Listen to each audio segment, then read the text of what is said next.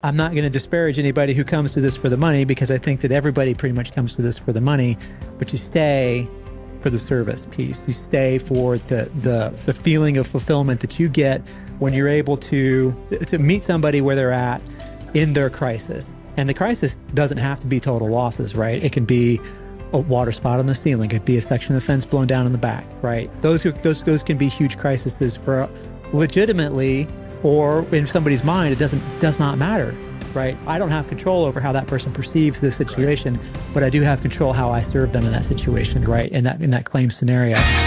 This is Adjuster TV, Adjusters First. This video is sponsored by Haag Education. Use code AdjusterTV to get a 15% discount on damage assessment, CE training, industry certifications, books, and tools at haageducation.com. Yeah, well, I'll give you my five, which are actually all the same as yours.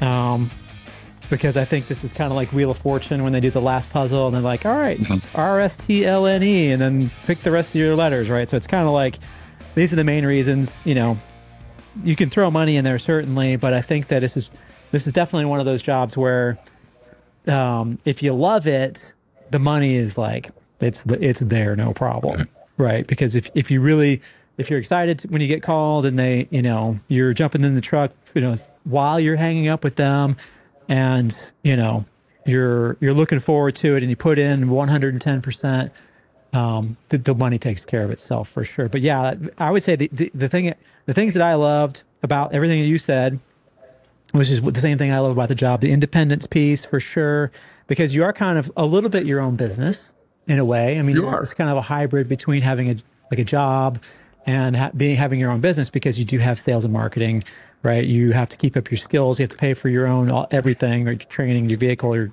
gear, all that stuff. Um, and it can, it's kind of fun to set things up just the way you want them. Right, your laptop, you, what ladder you use, what vehicle you use, how you set up your, your inside of your vehicle, all that kind of stuff, and you know the independence to, if you really wanted to say no, which I never did either, um, but you could, right? And then you know, you have the independence. You don't have to like, you know, we we're talking about staff jobs earlier in a different video, but you're when you have a staff job. I mean, there's a lot of pros to that certainly, but one of the cons is is that you have to like request time off like months in advance. Whereas as an independent adjuster, and you may not even be able to get it, especially if you're new and you don't have the seniority to like get time off around Christmas. You may be working the day after Thanksgiving, right, Friday, which sucks. I did it, and but as an independent, right, I know when I learned I learned pretty quickly when the downtimes were and when I can sneak away and you know take my own take a as, kind of as long a vacation as I wanted to, uh, and not worry about having to be getting called. Right, I could go take a five week vacation somewhere. Or I could go to Europe for two weeks or three weeks. I could do whatever I really whatever I wanted to, and not whenever I wanted to because I'm not going to do that during storm season. But you know, um, I can work or not work if I wanted to over the wintertime, which is pretty cool. Um, the travel, I love to travel as well. I like going to new places to be able to say, yeah, I, I've actually spent a bunch of time in the Quad Cities, right? And I went to all the little restaurants there. My favorite food that they have, the regional thing.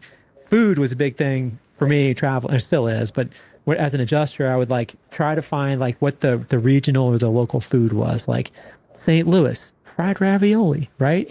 Um, real Tex-Mex in Texas is completely different than anything you get in the rest of the country, right? Yep. Uh, so on and so forth. Uh, getting a bratwurst in northern Wisconsin is, you know, Completely different. It's a whole- you know- you're going to get in Texas. yeah, totally. So the travel, 100%. I always liked going and new- seeing new places and filling in gaps on the map, right?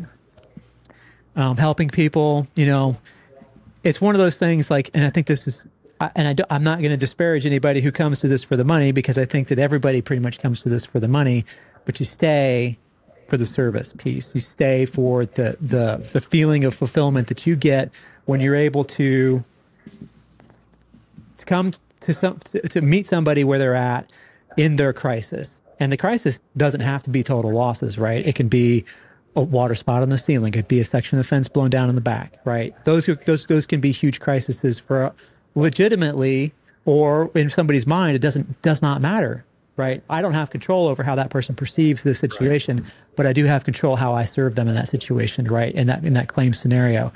Um, so that was that was extremely rewarding being able to help people in any in any particular claim situation.